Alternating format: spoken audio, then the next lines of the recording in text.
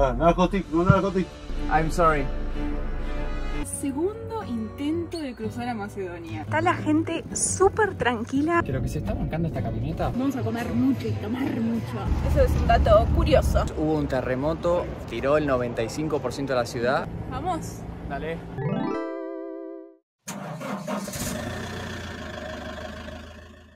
Estamos ya muy, muy, muy cerca de la frontera y como que no, no se siente, ¿no? No parece. La calle es muy angosta, si bien está asfaltada hace poquito parece, pero Uh, pasan camiones.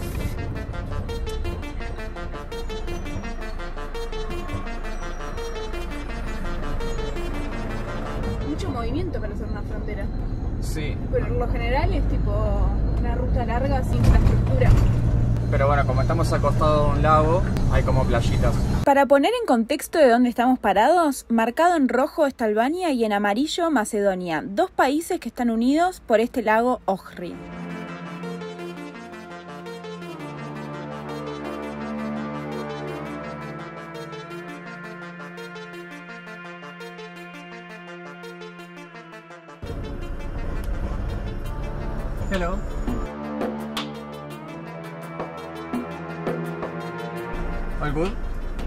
You.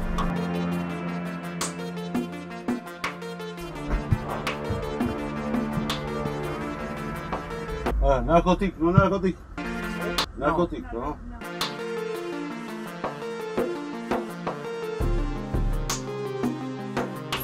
No sé por qué siempre me da miedo estas cosas.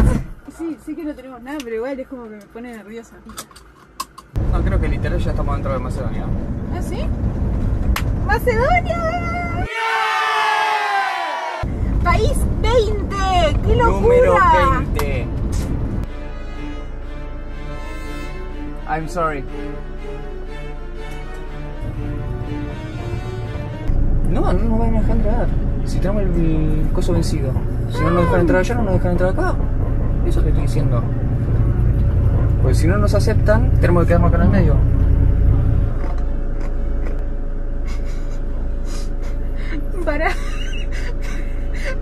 En el medio de Macedonia. No, en ninguno de los dos lugares. Thank you. Bueno, el festejo de estamos en Macedonia, volvemos todo para atrás. Al final no, pu- no pudimos cruzar porque la verdad, boludos nosotros que no nos fijamos del seguro, nosotros lo pagamos, siempre se nos renueva en agosto. Y estamos justo en esa fecha y no le habíamos pedido al de Generali que nos mande el, el comprobante. Así que no nos dejaron entrar a Macedonia sin ese comprobante. Hoy es sábado, lo intentamos llamar a Pepe, se llama, y no nos respondió. Así que no nos dejaron entrar. Y intentaremos el lunes o cuando tengamos el seguro, ¿no? Martes 12 menos cuarto cierra el camping. O sea, no es que nos cierra, tenemos el checkout en 15 minutos. Siempre tarde nosotros, siempre tarde. Aprovechando los últimos datos de internet del wifi. de- Subiendo wifi. todo a Drive, trabajando mucho. Ya le avisamos a nuestros clientes que íbamos a estar desconectados un ratito. ¿Por qué? ¿Hoy qué hacemos? Hoy vamos a hacer el segundo intento de cruzar a Macedonia. Cosas que hacemos antes de cruzar a un país nuevo.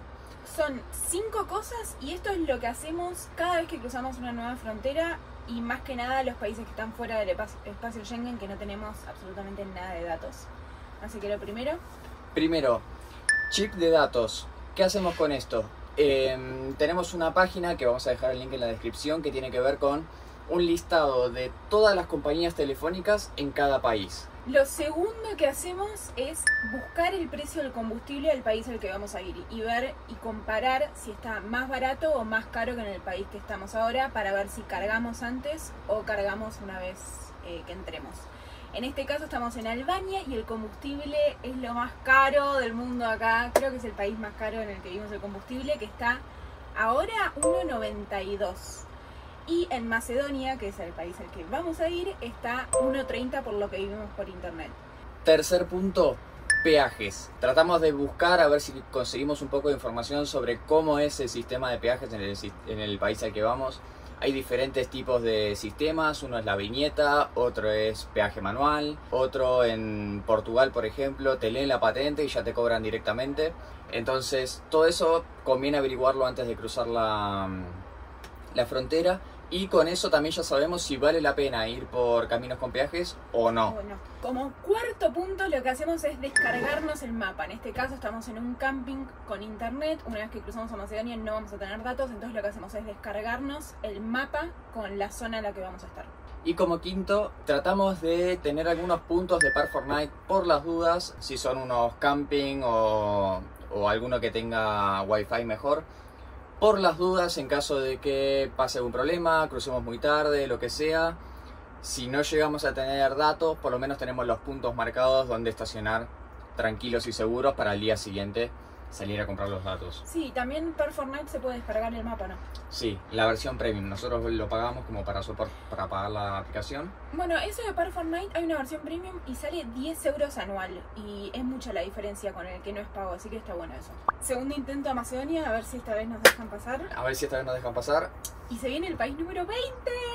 ¡20! ¡Qué locura! ¡Qué Número locura! 20.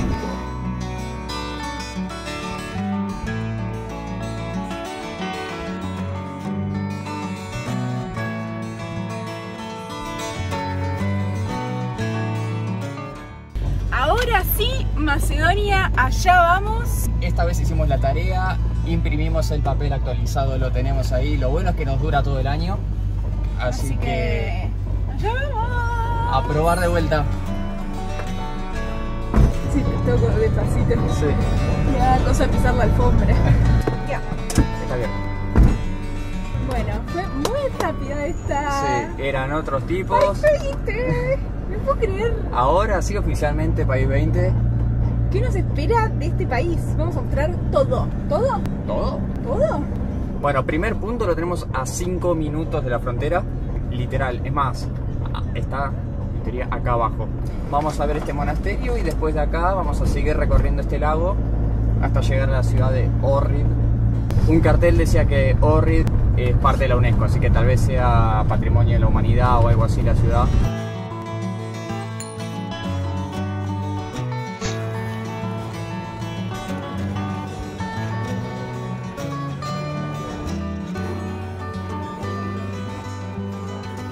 Estamos en un lugar muy turístico porque está lleno de gente, por más de que sea verano. Es el monasterio con más gente del mundo, me parece, porque nunca vimos un monasterio tan lleno. Hay una playita pública en la que viene todo el mundo, por eso te cobran estacionamiento y eso. Y acá estamos arriba de un puente que, que tiene. Muchas monedas. Estoy para tirarme y agarrar todo. Acá llegamos a la entrada del monasterio.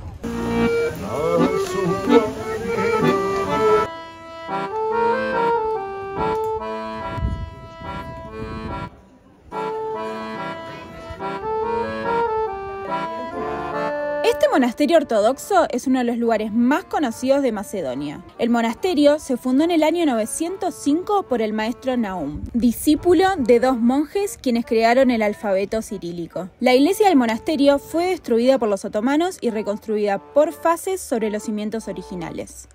Dentro de la iglesia está la tumba de Sam Naum y la leyenda dice que si apoyas la oreja en el lecho todavía se pueden escuchar sus latidos. Nosotros no lo probamos, pero sí vimos creyentes haciéndolo.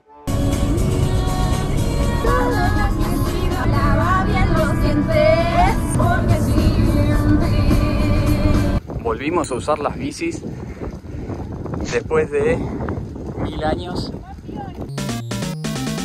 Dale, dale, dale, dale, dale. Está la gente súper tranquila acá al costado de este lago y es el único lago que hay en toda Macedonia, así que para mí que la gente viene a vacacionar acá. Bueno, conseguimos un plan de ¿cuántos gigas? 100 gigas y el chip nuevo sale 350. Ese está el plan.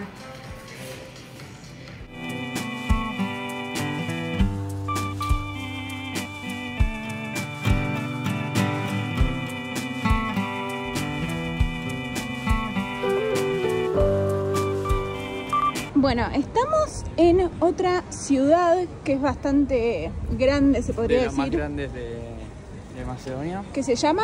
Bitola, con B larga. No encontramos mucha información, así que veremos. A ver Hasta qué. ahora las dos ciudades que conocimos, que son Ohrid y Bitola, las dos tienen una calle peatonal larguísima con locales de los dos lados. No hay ninguna marca que conozcamos, son todas marcas o copia o marcas de- que no conocemos. Y ahora estamos yendo a visitar la Torre del Reloj, que es uno de los puntos icónicos de esta ciudad, a ver si conocemos algo de, de la historia. Justo llegamos en el horario en que está sonando el reloj y suena Cada seis horas, según decía el cartel. Pero no son en punto ni ahí.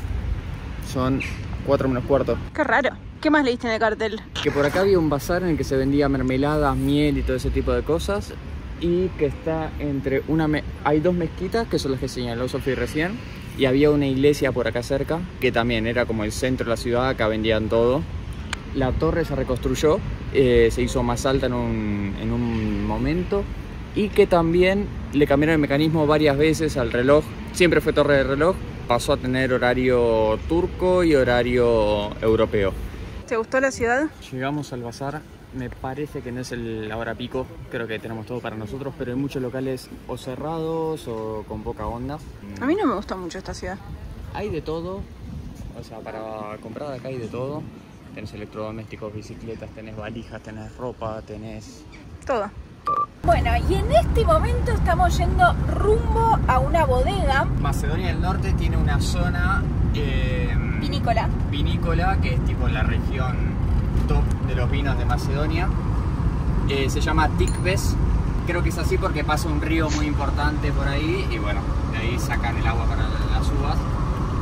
Así que estamos yendo a una bodega que además Encontré que tienen un área celeste donde podemos dormir directamente en la bodega, así que vamos a ver qué onda, genial eso.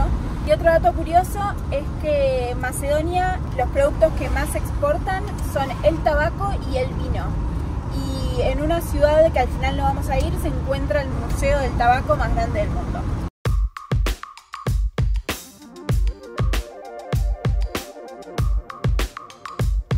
Justo estábamos buscando información de Macedonia del Norte, porque es Macedonia del Norte, no Macedonia. Y otro dato que leímos es que nos dimos cuenta que es verdad, es el segundo país con más montañas en el mundo. El 85% de su territorio son montañas. Eso es un dato curioso. Primer peaje de Macedonia. Nico había leído que solo hay cuántos peajes acá? menos de 20, creo que hay 10 o 15 como mucho. Thank you so much. Pudo pagar con tarjeta.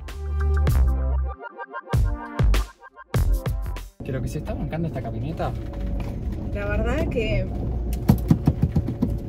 Besito en la cola. Ah, llegamos, a la bodega. a la bodega.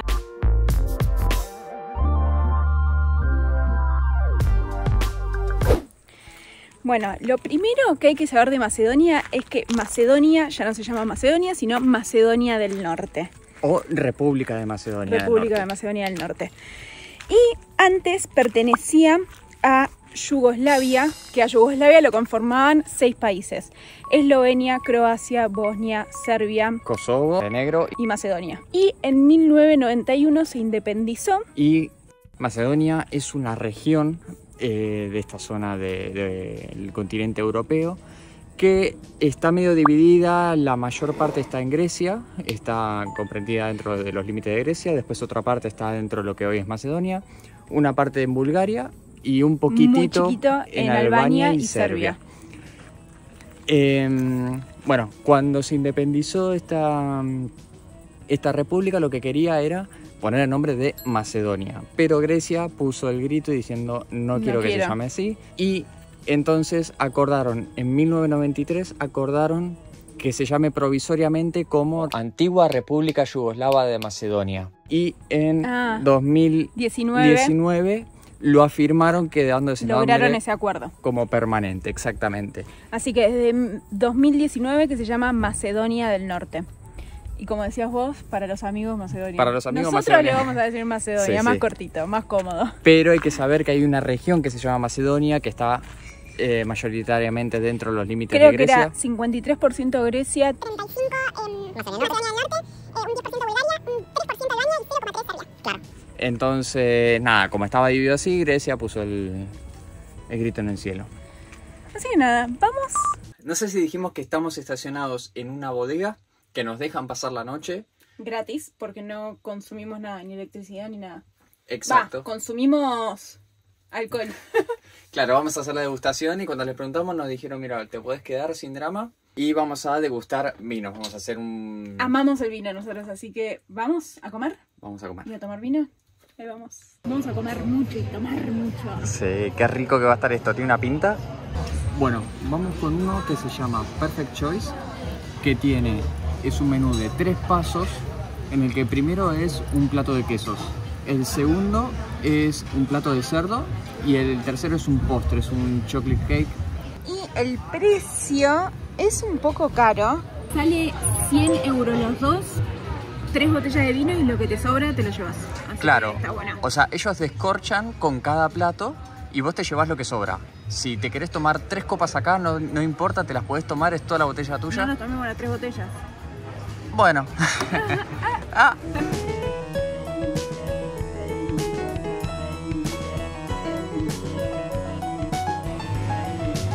Es fuerte. Le pusieron girada para bajarlo un poco, pero se siente. Es un lomo de cerdo em, con un pinche, con una mermelada de ciruela en el medio y se cocina durante 6 horas en Mirá, horno. Acá se ve la ciruela. Ahí se ve la ciruela. Para combinar y maridar con este vino. Tinto. Está haciendo un proceso de decantación. Trajo un artefacto de vidrio donde va a decantar el vino. Se va a oxigenar seguramente también. Y de ahí lo vamos a probar. Es la uva de la zona, eso sí. Vinimos a probar esta uva. Y le llaman Mike Tyson. Porque pega fuerte. Este que es el que más nos gustó, nos tomamos la mitad. El primero, no tomamos mucho. No tomamos mucho. Y este, no sé qué onda, me lo, va- me lo voy a llevar así. ¿Cómo me lo voy a llevar? Que me den el vino. En general, no fue el mejor, pero estuvo bueno. La comida, como que. mm, A ver, los, los primeros quesos parecían quesos de supermercado, no sé, como muy tirados así. El cerdo estaba medio seco. Y para mí le faltaba un poco más. Para lo que pagamos. Le ¿eh? faltaba onda, claro. Le faltaba onda. Para lo que pagamos, como que le faltaba más verduritas y eso. Y después el postre, el cheesecake medio artificial y el de chocolate. mm, A mí me gustó porque como todo lo de chocolate, Sí. pero bueno. El vino El bien, blanco a mí no me gustó mucho. No sé vos. el blanco fue un poquito fuerte, a mí me gustó, eh, pero creo que el mejor, y los dos coincidimos, el Cabernet. El cabernet. Hasta mañana.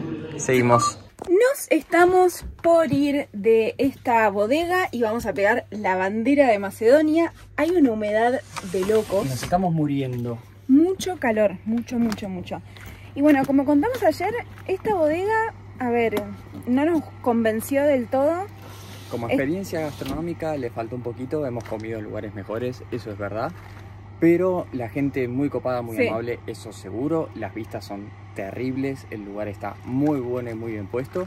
Y otra cosa es que si no venís a. si no consumís en el bar este, no pasa nada. El parking creo que se paga 7 euros la noche. Y creo que está bien, porque vimos bastantes lugares en Park Fortnite que eran inseguros o que robaban y qué sé yo. Así que este punto está bueno. Lo voy a poner el link en la descripción para que les quede, por si Y también viene. tienen electricidad, wifi que no nos funcionó bien, pero que tenía también la opción. Así que nada, como el lugar está bueno, lo único que la opción de las comidas me pega. Vamos bandera. a la bandera. Creo que es mi bandera preferida, ¿eh? Es muy linda. Es linda la bandera. País. Ah, no. Esto es un gran truquito, es ponerle eh, detergente. Para que después se pueda corregir fácil y después se seca todo junto. ¡Ay, qué lindo! País número ¿Qué 20. todo esto lleno? Número 20, no puedo creer.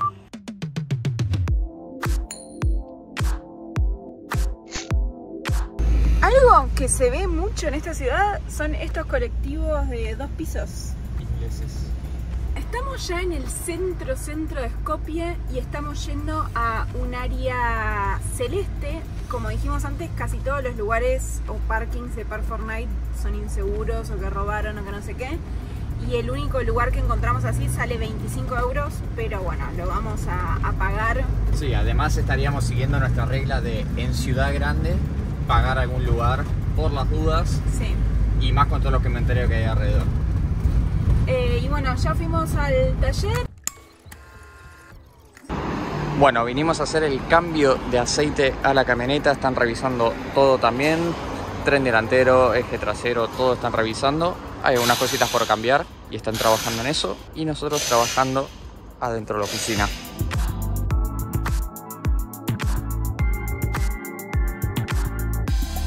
Ahora por lo menos está revisada y hasta España estaríamos bien. Y todo eso nos salió 210 euros, que la verdad que está bien el precio. Y a la tarde vamos a hacer un free walking tour, como en todas las capitales, para enterarnos más de, de la historia y aprender un poco más. Con 41 grados acá adentro, oficialmente salimos al free tour. Nos estamos muriendo. Estamos estacionados en un lavadero de autos. Están los chicos ahí recibiendo, acá los autos entregados. Pero bueno, Mucho ruido, pero seguro. Tiene cámaras, todo. Y es lo más seguro que encontramos acá en Skopje. Así que nada, nos estamos yendo al free tour, que estamos llegando tarde. Como dato de color, la Madre Teresa de Calcuta nació el 26 de agosto de 1910 en lo que hoy es Skopje, Macedonia. A los 18 años emigró de la ciudad, quedando toda su familia acá.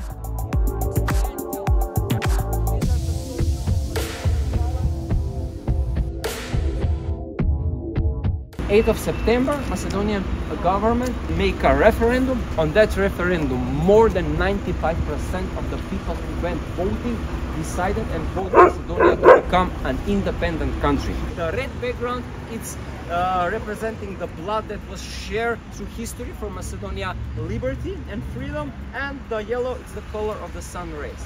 But at the beginning, in 1992, we were using this flag. This is ancient Macedonian Sun Rosetta symbol. And then in 1995, we were under the pressure and we have to hold a uh, um, contest in Macedonia. On that contest, we choose this flag to be our state flag.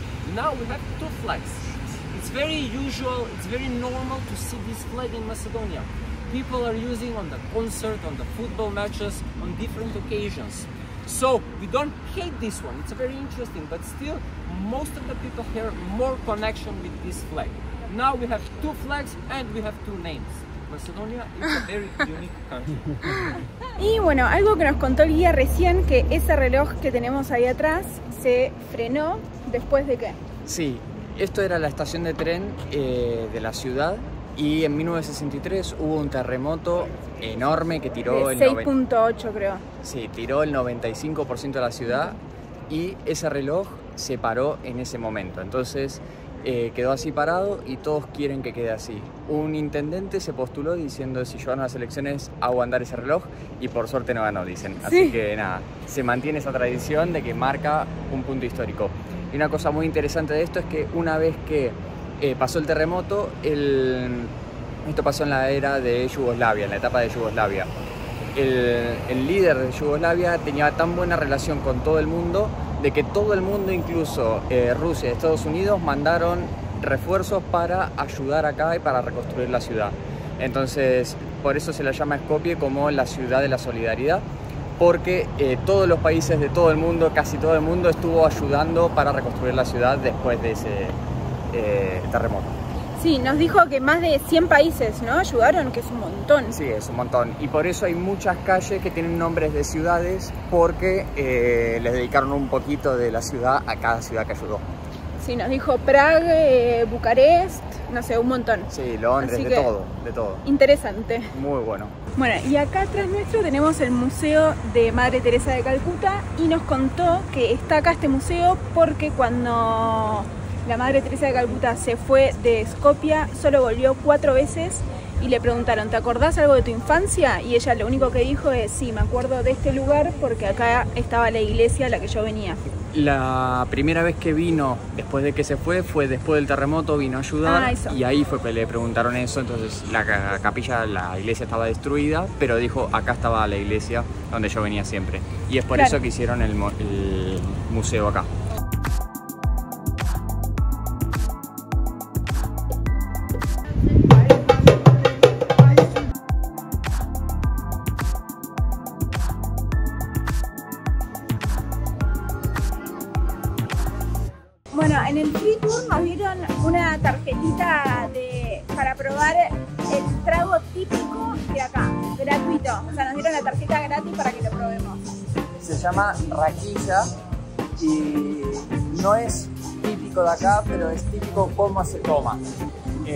Toma también creo que en Turquía, que en Grecia también se toma, pero se toman de forma diferente.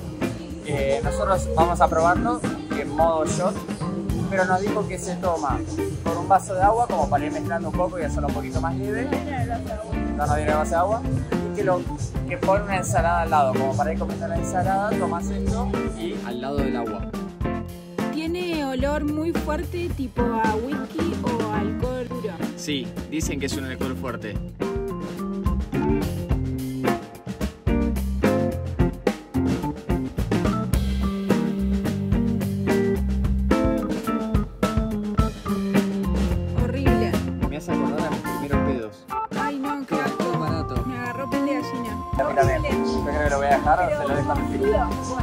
Es raro, eh, se quema. A nosotros no nos gustó. Bueno, y este lavadero es nuestra casa por esta noche. Hay unos vecinos ahí. Hasta mañana. Bueno, nuevo día en Macedonia del Norte. Estamos yendo al cañón Matka, que es un lugar muy turístico acá en Macedonia y está muy cerca de la ciudad. Y estamos yendo en colectivo que ahora vamos a mostrar cómo, cómo funciona acá en Macedonia. Bueno, ya lo primero, sabemos que nos tenemos que tomar el 60, pero no es como en todos los lugares de Europa que te dice que bon disparan acá, sino que tendremos que esperar. Y supuestamente pasa cada una hora hoy. Está explotado.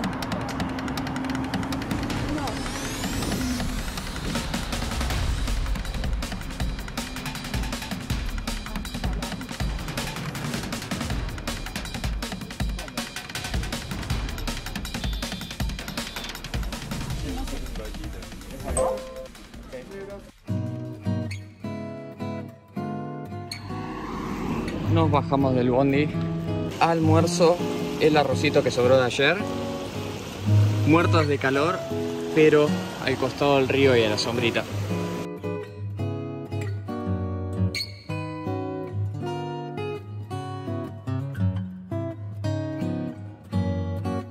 Y por acá tenemos una represa eléctrica. Tenemos el cañón de fondo, tenemos la represa hidroeléctrica acá adelante y tenemos el río que sale eh, después de la represa y también vemos los cables por allá atrás, pero están tapados por la montaña. Así Que que vamos, que quizás hacemos kayak. vamos a ver.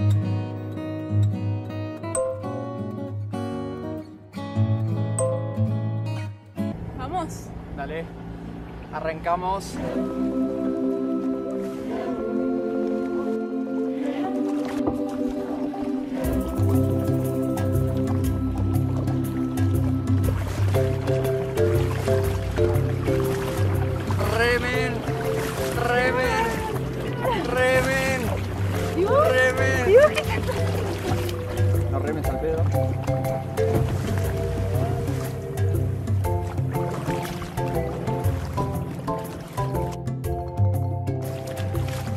Tirarte. Chao.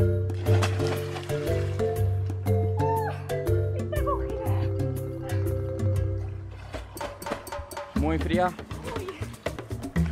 Refrescante al mil. Llegamos hasta la cueva, pero tenemos el problema de que está lleno de piedras y venimos descalzos. Entonces, se nos está complicando llegar. Así que creo que vamos a tratar de ir con el kayak y después ya volver. Ya pasó casi una hora desde que salimos con el kayak. Paramos varias veces igualmente, pero ya no nos dan los brazos y no sé cómo vamos a hacer para volver. ¿Y cómo venís, amor? Yo vengo re tranqui acá.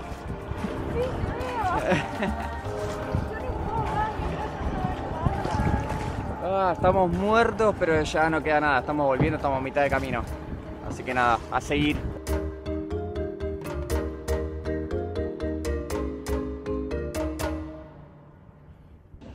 ¿Y? Me duelen los brazos mal, pero estuvo bueno igual. Estuvo lindo, tardamos dos horas, Una hora y media. una hora y media en ir y venir. Llegamos hasta la cueva, no pudimos subir porque estábamos en patas. Y nos costó la hora y media eh, 3 euros. 13 euros con algo. No está mal Solo como para... Eso. Y nos dieron el vuelto en Denas. Una recomendación si van a venir acá es que este puestito es el primero que aparece cuando venís.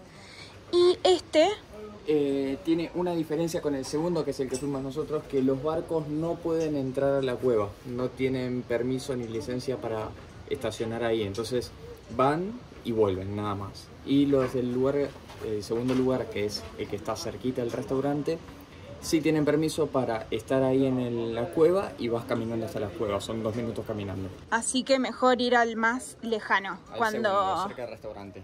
Exacto. Después de una parada por Kosovo, que eso lo vamos a mostrar en el próximo video, estamos volviendo a Macedonia. Buen día, estamos en nuestro último punto acá en Macedonia antes de volver para Albania y estamos en un parque nacional. En uno de los tres parques nacionales que tiene Macedonia y este se llama Mavrovo por el lago que tiene. El lago también se llama Mavrovo, lógicamente. Y está en el medio de las montañas, estamos durmiendo súper fresquitos. Y bueno, ahora estamos saliendo a recorrer el lago a ver qué hay, a ver qué vemos. Tenemos esta iglesia. ¿Qué pasó en esta iglesia? Se llama la iglesia de San Nicolás, o también conocida como la vieja iglesia, y acá estábamos leyendo. Y dice que la iglesia ahora está en ruinas, que el techo está derrumbado, pero que igual se puede entrar a visitar. Y después, ahora no está tapada, pero en invierno creo que se llega a tapar. Sí, habíamos leído como que se tapa en invierno por la altura del, del lago. El lago es artificial, eso no sé si lo dijimos. Sí. pero que se tapa con la altura del lago y nosotros ahora estamos en verano y se ve toda la iglesia, el agua está súper baja.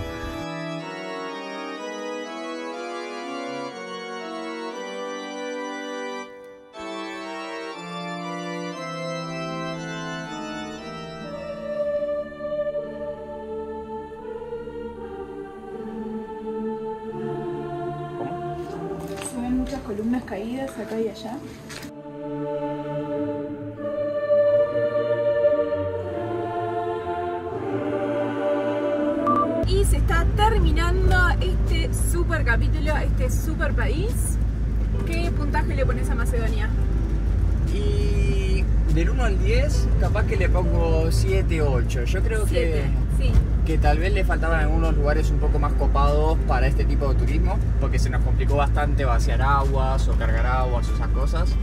Y Pero- varios puntos estaban un poco inseguros por los comentarios. Pero en general nos gustó, está bueno conocerlo y nada, A seguir viajando, a ver qué se seguir viene. viajando, eh, como decimos siempre, darle like, suscribirse, ponerle me gusta, comentar, compartirlo con amigos, eh, todo, todo lo que se les ocurra. Sí, nos ayuda muchísimo todo eso, así que muchas gracias y nos vemos en el próximo capítulo. Chau, chau. Se viene un nuevo país en este canal de YouTube y vamos a mostrar Kosovo. ¿No? Vamos a ver si podemos llegar. Estamos en Skopje, en la capital de Macedonia del Norte. Estamos muy cerquita de la frontera y hoy vamos a intentar cruzar. Sí, mamá, si ves este video, perdón, no te voy a contar hasta que volvamos de Kosovo.